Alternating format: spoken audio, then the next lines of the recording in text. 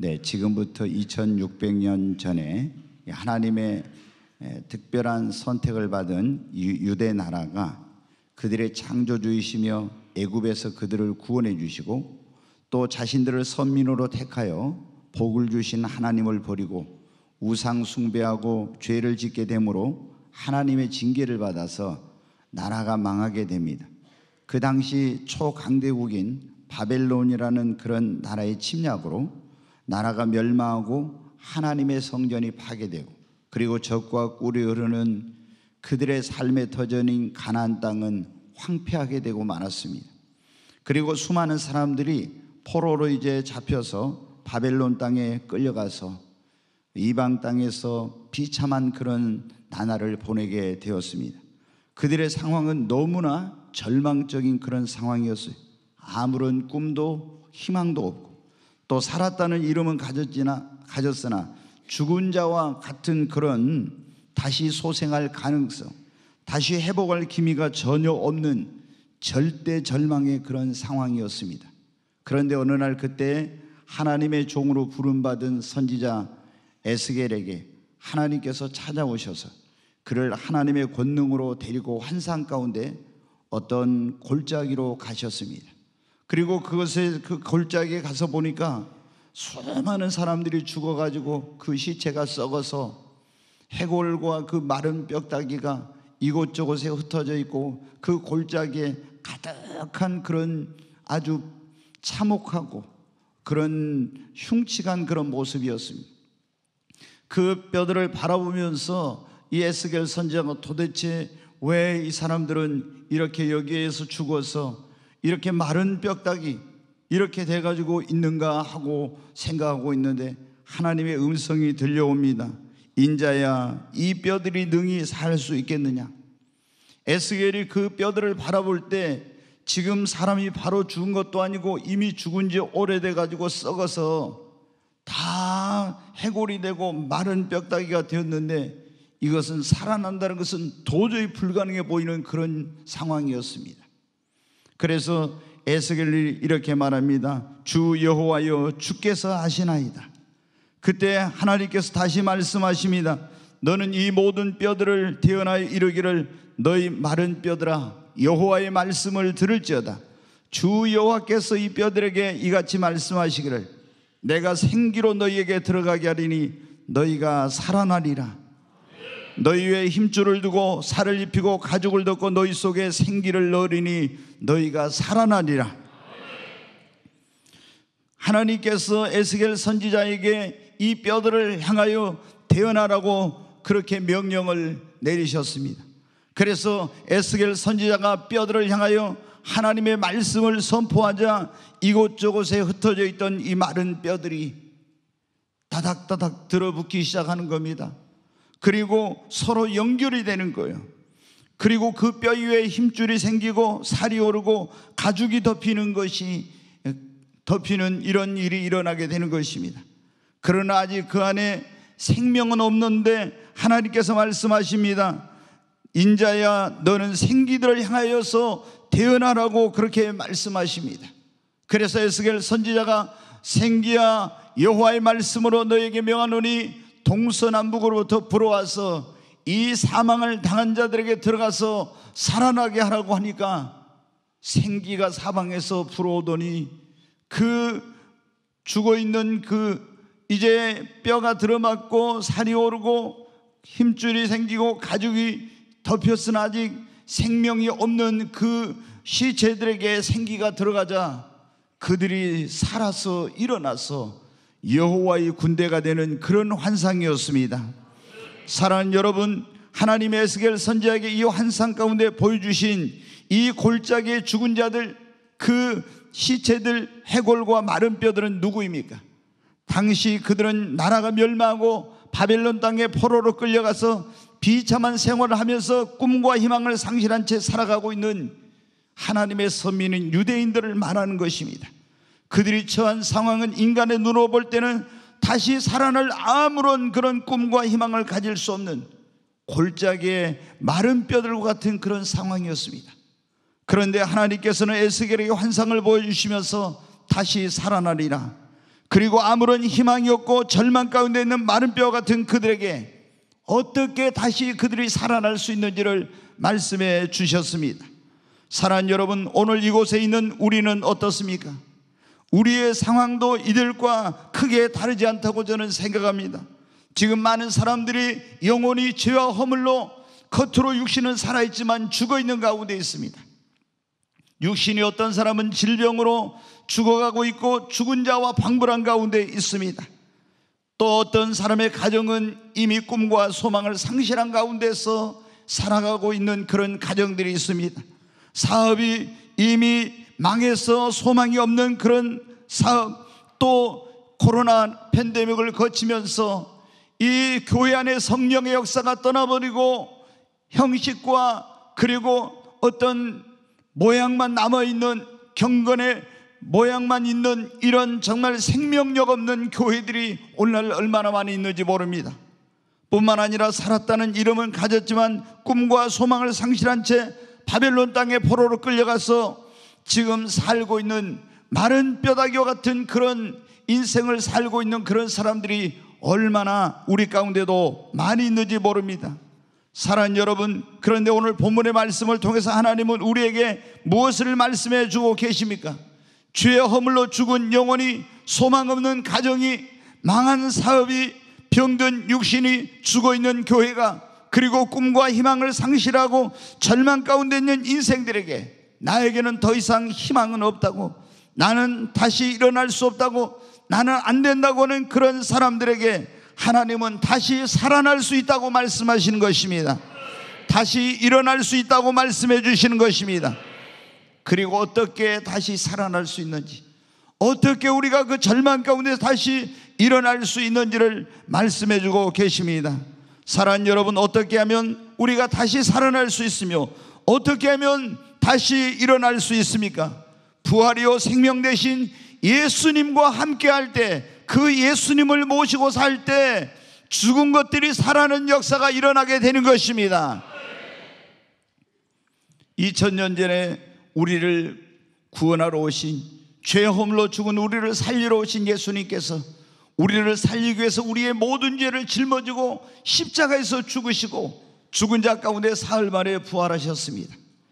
그 사망 권세를 이고 부활하신 예수님을 우리의 마음과 삶에 영접하면 부활이요 생명 되신 예수로 말미암아 우리의 죽어 있는 영혼이 우리의 가정이 그리고 병든 육신이 내 무너져 버린 삶이 그리고 죽은 자와 방불한 내가 다시 여러분 부활의 능력을 체험하게 되는 것입니다. 요한복음 11장 25절로 26절에 보면 예수님께서 이런 말씀을 하셨습니다. 같이 한번 읽습니다. 예수께서 이르시되 나는 부활이요 생명이니 나를 믿는 자는 죽어도 살겠고 무릇 살아서 나를 믿는 자는 영원히 죽지 아니하리라. 이것을 내가 믿느냐? 여기 보면 예수님께서 나는 부활이요 생명이니 나를 믿는 자는 죽어도 살겠고 아멘. 살아서 나를 믿는 자는 영원히 죽지 아니하리라. 여러분 나사로가 죽었어요. 그래서 마르다와 마리, 마리아가 그 오라버니 나사로를 위해 사람을 보냈는데 예수님께서 지체하고 있는 가운데 나사로가 죽은 다음에 예수님이 오셨어요. 그때 마르다가 이렇게 말합니다. 주께서 여기 계셨더라면 내 오라버니가 죽지 아니하였을 것인데 그때 예수님 말씀하십니다. 네 오라버니가 다시 살리라. 그러니까 마르다는 말합니다. 부활 때 장차 여러분 우리에게 부활이 있어요. 예, 영광스러운 부활과 그러니까 생명의 부활과 심판의 부활이 있는데 예수를 믿는 자들은 생명의 부활로 부활하게 됩니다. 그래서 부활할 것을 장차 마지막 날 부활할 걸 나는 믿습니다. 그런데 마르다에게 예수님께서 아니다. 네 오라버니 나사로가 지금 살리라. 나는 부활이요 생명이니 네 오라버니가 다시 살리라. 네가 이것을 믿느냐고. 여러분 우리가 예수를 믿고 구원받은 사람은 장차 죽어도 다시 삽니다. 영원히 죽지 않는 생명으로 다시 영화로운 몸으로 다시 살아납니다. 그러나 여러분 그 부활만을 우리가 소망하고 살면 안 됩니다. 부활이요 생명 대신 예수님을 믿으면 오늘 우리의 삶 속에서 죽어 있는 가정이 내 영혼이 내 병든 육신이 내 삶에서도 죽어 있는 것들이 살아나는 역사가 일어나게 되는 것입니다. 사랑하는 여러분, 성경에 보면 예수님이 가시는 곳마다 여러분 어떤 일이 일어났느냐? 죽은 것들이 살아나는 그런 역사가 일어났습니다. 질병으로 죽어가던 사람들이 부활이요 생명 되시고 만병의 치료자 되신 예수님 그분이 들어가면 그 집에 죽은 자들이 살아났습니다. 병든 자가 고침을 받았습니다. 아무리 애쓰고 힘쓰고 노력해도 안 되던 사업이 부활이요 생명 되신 예수님이 그곳에 들어가면 그 사업에도 부활의 역사가 일어났습니다. 우리가 누가 보면 5장에 보면 갈릴리 바다에서 고기를 잡던 시몬이 밤새 고기를 잡았는데 한 마리도 못 잡았어요. 그런데 부활이요 생명 되신 예수님을 모시고 깊은 곳으로 가서 그물을 던지자. 아무리 애쓰고 노력해도 한 마리도 잡지 못하는 그 빈 배와 빈 그물에 어마어마한 고기가 잡혔습니다. 여러분, 우리 성도님들, 여러분의 사업장에도 부활이요 생명 되신 예수님을 모시고 함께 하시기를 바랍니다. 베드로의 기적이 일어날 줄로 믿습니다. 군대 귀신에게 들려서 무덤 사이에서 자기 몸을 헤하면서 그런 악한 영에 붙들려 살던 그 사람이 여러분 그리고 다섯 번이나 결혼하고 이혼하고 이제는 결혼도 하지 않고 어떤 남자와 동거 생활하면서 그런 인생의 모든 것들을 자포자기하고 살던 그런 불쌍한 여인이 예수님을 만남으로 말미암아 어떻게 돼? 악한 자로부터 자유함을 얻게 되었고 그리고 이 여인은 영원히 목마르지 않는 생수를 얻게 되고 새로운 인생을 살게 되는 역사가 일어난 것입니다. 여러분 부활이요 생명 되신 예수님을 내 마음에 모시면 내 죄와 허물로 죽은 영혼이 살아납니다. 우리 가정에 모시면 우리 가정이 다시 꿈과 소망이 없는 가정이 다시 살아나게 되는 것입니다. 병든 육신에도 예수님을 모시면 예수로 말미암아 다시 치유되고 살아나는 역사가 일어나게 되는 것입니다. 여러분 다시 살고 싶다면 우리는 부활이요 생명 대신 예수님을 모시고 살아야 되는 것입니다. 오늘 설교의 제목이 주님이 다시 살아나리라 그런 말씀이에요. 여러분 다시 살아날 것입니다. 사망 권세를 이기신 예수님의 그 능력으로 여러분 다시 살아날 줄로 믿습니다. 우리가 다시 살아나려면 어디 두 번째는 여러분 믿어야 합니다. 그분이 다시 살리실 것을 하나님이 다시 살려주실 것을 여러분 믿어야 합니다. 부활의 생명 되신 예수님께서 오셨어도 아 그분이 나의 영혼을 살려주실 거라고 내 병든 육신을 죽어가는데 이 몸을 살려주실 거라고 믿어야지 안 믿으면 여러분 소용없어요. 여러분 가정도 주님이 다시 살리시고 일으킬 걸 믿으십시오. 여러분의 망한 사업에도 하나님께서 부활의 역사를 하실 것을 믿으십시오. 여러분 요한복음 11장 40절 말씀 한 절 같이 보겠습니다. 같이 읽습니다. 예수께서 이르시되 내 말이 네가 믿으면 하나님의 영광을 보리라 하지 아니하였느냐 하시니 여기 보면 마르다에게 예수님이 하신 말씀이에요. 이제 무덤이 있는 곳으로 갔습니다. 나사로가 죽어가지고 나흘에 송장 썩은 냄새가 나요. 그래서 예수님이 마르다에게 어, 돌을 옮겨 놓으라 그러니까 마르다가 벌써 죽은 지 나흘이 되어 송장 썩은 냄새가 납니다. 그러니까 예수님이 내 말이 네가 믿으면 하나님의 영광을 보리라 하지 않더냐. 그 말은 뭐 나는 부활이요 생명이니 나를 믿는 자는 죽어도 살겠다고 하는 그 말씀을 네가 믿으면 네 오라버니가 다시 살아나는 것을 보게 되리라. 여러분 믿으면 우리가 죽은 것을 부활의 생명 대신 주님이 살리실 것을 다시 일으킬 것을 믿으면 그 믿음대로 주님이 역사해 주십니다. 누가복음 8장 49절 50절 말씀을 한번 같이 보겠습니다. 아직 말씀하실 때 회당장의 집에서 사람이 와서 말하되 당신의 딸이 죽었나이다. 선생을 더 괴롭게 하지 마소서 하거늘 예수께서 들으시고 이르시되 두려워하지 말고 믿기만 하라. 그리하면 딸이 구원을 얻으리라 하시고 여기 보면 두려워 말고 두려워하지 말고 거기서 같이 읽습니다. 두려워하지 말고 믿기만 하라. 그리하면 딸이 구원을 얻으리라. 아멘. 네, 여기 보면 이제 회당장 유대인들은 이제 회당이라는 게 있어요. 거기서 하나님의 말씀을 가르치고 이제 학교와 같기도 하고 오늘날 예배당과 같은 성전은 이제 딱 에루살렘에 한 군데가 있고 이렇게 하는데 그 회당을 책임지는 사람을 회당장이라고 하는데 이 회당장 야이로라는 사람에게 무남동녀 외동딸이 있었는데 이 아이가 12살 먹었는데 시름시름 병으로 죽어가는 거예요. 그래서 이제 예수님에 대한 소문을 듣고 예수님께 달려가서 예수님 내 딸이 지금 죽어가고 있습니다. 살려주세요. 해가지고 예수님께서 그 회당장의 딸을 살리기 위해서 가고 있었어요. 근데 12회를 혈루증으로 고생한 여인이 아, 병을 고치지 못하고 재산도 다 허비하고 더 중해져서 절망 가운데 있던 여인이 예수님께 소문을 듣고 와서 내가 옷자락만 만져도 나를 이런 믿음으로 예수님의 옷자락을 만졌더니 예수님에게서 능력이 나가지고 이 여인이 병을 고침을 받았어요. 그 사건 때문에 회당장 야이로의 집으로 가는 시간이 지체되고 있었는데 그때 회당장의 집에서 한 사람이 달려와 가지고 회당장님 당신의 딸이 죽었습니다. 이제는 아무런 소망이 없습니다. 선생님을 더 이상 괴롭게 하지 마세요. 이제는 죽었으니까 끝이라는 거예요. 그런데 오늘 이 거기 50절 말씀 다시 한번 보세요. 이걸 들고 그 당신의 딸이 죽었습니다. 이 말을 들었을 때 해당장 야이로의 가슴이 철렁하고 이제는 모든 게 끝났구나 하는 그런 생각이 들었어요. 그런데 예수님께서 그 말을 들으시고 뭐라고 합니까? 두려워 말고 믿기만 하라. 두려워 말고 믿기만 하라. 그래야면 네 딸이 구원을 얻으리라.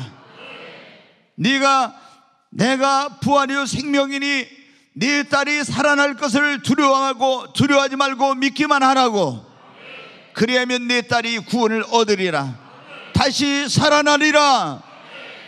여러분 죽음보다 더 절망적인 것이 어디가 있습니까?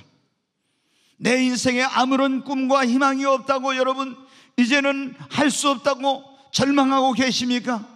여러분의 삶 속에 예수님이 함께 하시고 그 예수님께서 여러분의 인생을 새롭게 해 주신다는 것을 여러분이 믿기만 하면 부활의 생명 되신 예수로 말미암아 다시 살아나는 역사가 일어나게 될 것입니다. 여러분 우리가 믿는 하나님은 어떤 하나님입니까? 능치 못하심이 없는 전능하신 하나님이십니다. 죽은 자를 살리시는 하나님이십니다. 없는 것을 있게 하시는 창조주 하나님이십니다. 여러분 믿습니까? 하나님은 어제나 오늘이나 영원토록 동일하십니다. 2000년 전에 나사를 살리고 회당장 야이로의 딸을 살리신 그 주님께서 오늘 또 죽은 것을 살리실 수 있다고 여러분 믿습니까? 여러분의 믿음대로 될 것입니다. 우리 로마서 4장 17절부터 있는 말씀 보겠습니다. 같이 읽습니다. 기록된 바 내가 너를 많은 민족의 조상으로 세웠다 하신 것 같으니 그가 믿은 바 하나님은 죽은 자를 살리시며 없는 것을 있는 것으로 부르시는 이신이라. 여기 보면 우리가 믿는 하나님은 어떤 하나님이라고요? 죽은 자를 살리시는 하나님. 여러분 믿습니까? 없는 것을 있는 것으로 없는 것을 있게 하시는 창조주 하나님이신 것을 믿습니까? 자, 18절부터 계속 보겠습니다. 같이 읽습니다. 아브라함이 바랄 수 없는 중에 바라고 믿었으니 이는 내 후손이 이와 같으리라 하신 말씀대로 많은 민족의 조상이 되게 하려 하심이라. 그가 백세나 되어 자기 몸이 죽은 것 같고 사라의 태가 죽은 것 같음을 알고도 믿음이 약해지지 아니하고 믿음이 없어 하나님의 약속을 의심하지 않고 믿음으로 견고해져서 하나님께 영광을 돌리며 약속하신 그것을 또한 능히 이루실 줄을 확신하였으니 여러분 여기 보면 이제 아브라함에 대해서 나옵니다. 아브라함에게 하나님께서 그의 나이 75세일 때 하나님이 이런 약속을 주셨어요. 내 아내에게 이제 아들을 줄 것이다 이런 약속을 했어요. 그런데 어, 이 10년쯤 지나니까 사라의 생리가 끊어졌어요. 지금 뭐 75세까지, 85세까지 생리하는 분은 없겠죠. 근데 그때는 이제 좀 그, 네, 오랫동안 사람들이 살 때니까 한 170세 이 정도 살 때니까. 근데 생리가 끊어지고 나니까 아이를 낳을 수가 이제 없는 거죠. 어, 그런데 하나님께서 지금 여기 보면은 아브라함의 나이 100세가 되고 사라의 나이 90세가 됐어. 아브라함도 이미 생식 기능을 잃어버리고 사라도 이미 그런 어, 여성으로서의 그런 아이를 낳을 수 있는 기능을 잃어버렸다는 거예요. 그런데도 아브라함과 사라는 여러분 어떻게 했다고요? 하나님은 죽은 자를 살리시는 하나님은 없는 것을 있게 하시는 것은 하나님이신 것을 믿고 자기 몸이 죽은 것 같고 사라의 태가 죽은 것 같음을 알고도 아 이제 아이 가질 수 없어 이렇게 의심하지 않고 하나님이 말씀하신 걸 반드시 이루리라고 믿었다는 겁니다. 그랬더니 죽은 그 몸에 하나님께서 생명을 얻을 수 있는 능력을 사라의 죽은 태를 다시 살려서 이삭 웃음이라고 하는 아들을 그 가정에 선물로 주신 것입니다. 사랑 여러분, 병원에 가면 우리가 어떤 경우에 이런 의사의 진단을 받습니다. 당신은 이제 암 말기입니다. 3개월밖에 못 삽니다. 6개월밖에 못 삽니다. 아마 길게 살면 1년 정도 살지 모르겠습니다. 이런 경우도 있어요. 어, 그러면 여러분 어떻게? 지금 내 몸은 살았으나 이미 죽은 거나 마찬가지예요. 사형 선고를 받았어요. 그런데 오늘 이 성경 말씀에 보니까 에스겔이 봤던 골짜기에 마른 뼈, 죽은 뼈 이미 송장이 되고 그것 썩어서 해골이 되고 마를라 비틀어진 그 뼈다귀들이 하나님의 권능과 능력으로 살아났습니다. 여러분, 하나님께서는 지금도 죽은 자를 살리시는 능력의 하나님이십니다. 하나님께서 여러분의 병든 몸을, 여러분의 죽은 영혼을, 여러분의 그 소망 없는 가정을, 여러분의 다시 일으킬 수 없는 기업을 부활이요 생명 되신 주님께서 지금도 다시 일으켜 주실 수 있다고 살려 주실 수 있다고 믿으면 네 믿음대로 되리라고 했습니다. 아멘. 여러분이 믿으시기 바랍니다. 네가 믿으면 하나님의 영광을 보리라 하지 아니하였느냐? 네가 믿으면 살아난 것을 보리라고. 여러분 오늘 설교의 제목이 다시 살아나리라고 했네. 부활이요 생명 되신 예수님 그분을 모시고 그분이 다시 살리신다고 믿으면 죽은 것들이 살아나는 역사가 일어납니다. 뿐만 아니라 우리가 하나님의 말씀을 들을 때 죽은 것들이 살아나게 되는 것입니다. 하나님의 말씀 안에는 능력이 있습니다. 죽은 것을 살리는 능력이 있습니다. 생명을 주는 능력이 있습니다. 요한복음 6장 63절 말씀 한번 보겠습니다. 같이 읽습니다. 살리는 것은 영이니 육은 무익하니라. 내가 너희에게 이런 말은 영이요 생명이라. 여기 보면 예수님께서 살리는 것은 영이라고요. 근데 육은 살릴 수가 없는데 내가 너희에게 이런 말이 영이요 뭐라고요? 생명이라고. 주님의 말씀 안에 생명이 있습니다. 한번 따라서 하죠.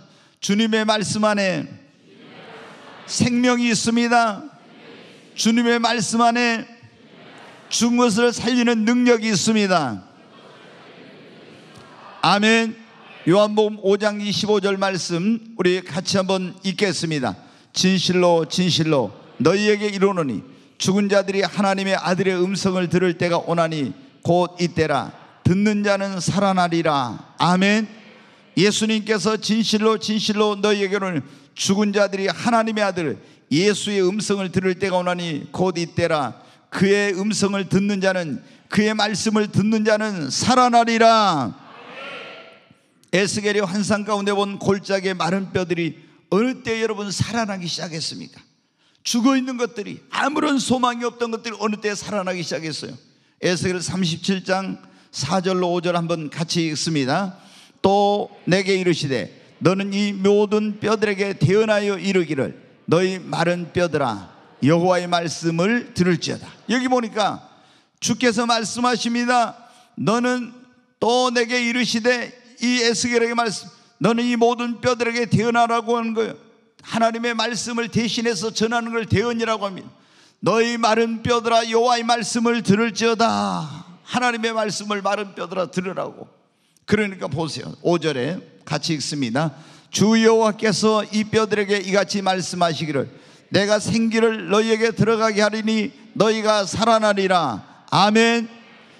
주님의 말씀을 들을 때 거기에 있는 마른 뼈들이 살아나기 시작해요. 7절에 한번 보겠습니다. 같이 읽습니다. 이에 내가 명령을 따라 태어나니 태어날 때 소리가 나고 움직이며 이 뼈 저 뼈가 들어맞아 뼈들이 서로 연결되더라. 아멘. 하나님의 말씀을 들으면 우리 영혼이 살아나기 시작합니다. 우리의 메마른 영혼이 갈급한 영혼이 하나님의 말씀을 들을 때 여러분 죽어 있는 영혼이 살아나게 되는 거예요. 하나님의 말씀은 생명의 말씀입니다. 하나님의 말씀은 소망의 말씀이에요. 절망 가운데 있는 자가 이 소망의 말씀을 들을 때 살아나는 거예요. 하나님의 말씀은 치유의 능력이 있습니다. 그래서 치료의 말씀을 들을 때 치유의 역사가 일어납니다. 하나님의 말씀은 능력의 말씀입니다. 그래서 파리한 우리 영혼, 우리 가정, 우리 교회 병든 육신도 내 죽은 영혼도 하나님의 말씀을 들을 때 다시 에스골 골짜기에 많은 죽은 뼈들이 살아나는 것처럼 살아나는 역사가 일어나게 되는 것입니다. 시편 119편 50절 말씀 우리 같이 한번 읽습니다. 이 말씀은 나의 고난 중에 이로라 주의 말씀이 나를 살리셨기 때문이니다. 여러분 고난 중에 주님의 말씀이 우리의 위로가 되고 그 말씀이 우리를 살리는 것입니다. 여러분 고난 가운데 있을 때 절망 가운데 있을 때 사람이 우리를 위로해 줄 수 없는 그런 정말 절대 절망의 상황에 처할 때가 있어요.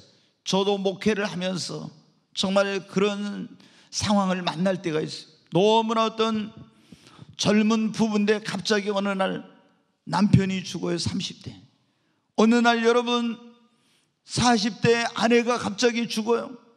그 여러분 제가 목사인데 가서 그 남편에게 그 아내에게 어떻게 위로해 줄 말이 없어요.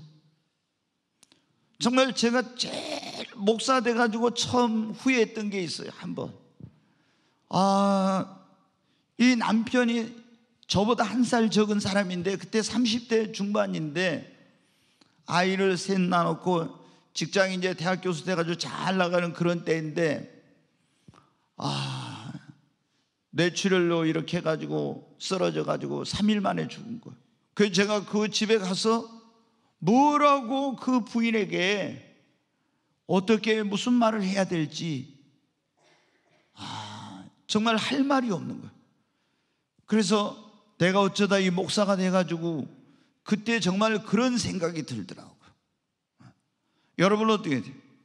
그런데 우리가 인간의 말로서는 위로할 수 없지만은 그분이 하나님의 말씀을 절망 가운데 있을 때 말씀을 읽게 되면 이 하나님의 말씀이 슬픔 가운데 있는 그에게 위로를 절망 가운데 있는 그에게 소망을 이 하나님의 말씀이 주어서 다시 일으키는 것입니다. 여러분 하나님의 말씀은 능력이 있습니다. 그 말씀 안에 생명이 있습니다. 여러분이 병든 사람들은 하나님의 치유의 말씀을 붙드시기를 바랍니다. 고난 가운데 있는 사람들은 하나님의 위로의 말씀을 붙잡으시기를 바랍니다. 여러분 절망 가운데 있는 사람들은 하나님의 소망의 말씀을 붙드시기를 바랍니다. 그러면 그 말씀의 힘으로 다시 일어납니다. 살아날 수 있습니다. 여러분 우리가 다시 살아나려면 하나님의 말씀을 들어야 합니다. 그리고 우리 죽은 것들이 다시 살아나려면 기도해야 합니다. 모든 죽은 것들이 살아나는 데는 보면 항상 눈물의 기도와 간구와 탄원이 있었어요. 죽은 나사로가 여러분 어떻게 살아났어요? 그 누이들인 그 마르다와 마리아의 눈물의 기도에 주님이 응답해서 그 죽은 오라버니 나사로를 살려준 거예요. 여러분 회당장 야이로의 딸이 그 회당장 야이로의 아버지 그 눈물의 기도로 말미암아 살아나게 된 것입니다. 히스기야가 병들어 죽어가게 되었는데 그 본인이 눈물로 하나님 앞에 기도해서 내가 네 눈에 눈물을 보았고 네 기도를 들어서 주님이 살려주시고 치료해 주신 것입니다. 수냄 여인의 아들이 죽었는데 어머니의 간구와 탄원으로 그 아들이 다시 살아나게 된 것입니다. 우리가 하나님 앞에 눈물로 간구하고 기도하면 하나님께서 여러분의 눈에 눈물을 보시고 다시 살려주실 줄로 믿습니다. 그리고 우리에게 준 것들이 다시 살아나려면 무엇보다도 하나님의 성령이 임해야 됩니다. 마른 뼈들이 여러분 어떻게 살아났습니까? 에스겔서 37장 9절 10절을 보겠습니다. 같이 읽습니다. 또 내게 이르시되 인자의 너는 생기를 향하여 태어나라 생기에게 태어나 이르기를 주 여호와께서 이같이 말씀하시기를 생기야 사방에서부터 와서 이 죽음을 당한 자들에게 불어서 살아나게 하라 하셨다 하라. 여기 보니까 인자야 너는 생기를 향하여서 하나님의 말씀을 태어나래요. 그럼 생기에게 태어나 이르기를 주 여호와께서 말씀하시기를 생기야 사방에서부터 불어와서 이 죽음을 당한 자들에게 불어와서 살아나게 하라고. 그렇게 이제 태어냈어요. 그랬더니 10절에 보겠습니다. 이에 내가 그 명령대로 태어나했더니 생기가 그들에게 들어가매 그들이 곧 살아나서 일어나 서는데 극히 큰 군대더라. 여기 보니까 이에 내가 그 명령대로 태어나했더니 생기가 그들에게 들어가매 그들이 곧 살아나서 아멘. 생기가 그들에게 들어가며 그들이 곧 살아나서 여러분 이 생기가 뭐냐? 하나님께서 우리 인간을 창조하실 때 자신의 형상과 모양을 따라서 지으셨다겠죠? 흙으로 빚으셨어요. 그리고 그 안에 하나님께서 뭐를 불어넣으셨어요? 생기를 불어넣었어요. 우리가 생각할 때 이 생기는 뭐냐? 그럼 여기 원어에 루하으라게 가지고 생기라는 말은 하나님의 영이라는 그런 뜻이에요. 하나님께서 지금 그 사망을 당한 자들에게 에스겔에게 태어나라고 했습니다. 사방에서 생기가 불어와서 이 사망을 당한 자들에게 들어가 살아나게 하라고. 그러니까 생기가 들어가니까 그 죽은 자들이 살아나는 역사가 일어났어요.